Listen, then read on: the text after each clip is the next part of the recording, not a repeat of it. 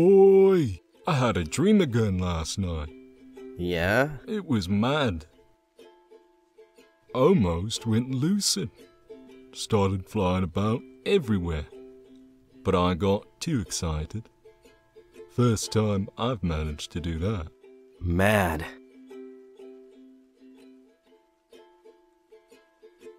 Do you dream much?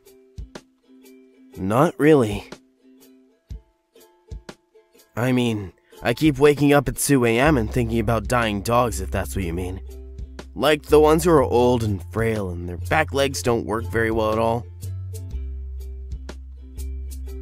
That's not what I mean. And like, I always imagine them in their owner's arms, getting the injections at the vet. And then I'm imagining the owner crying and hugging their dead dog. Jesus fucking Christ, mate. That's not the worst of it. The dogs that I imagine are the ones who haven't necessarily been abused, but forgotten, you know? Like the owners feed them and walk them sometimes, but they don't play with them. They just sit around all day and do nothing, and have done pretty much nothing for their whole lives and get anxious when their owners leave the house. I imagine those dogs being put down. Those are the saddest dogs to imagine dying. A bored life fades away.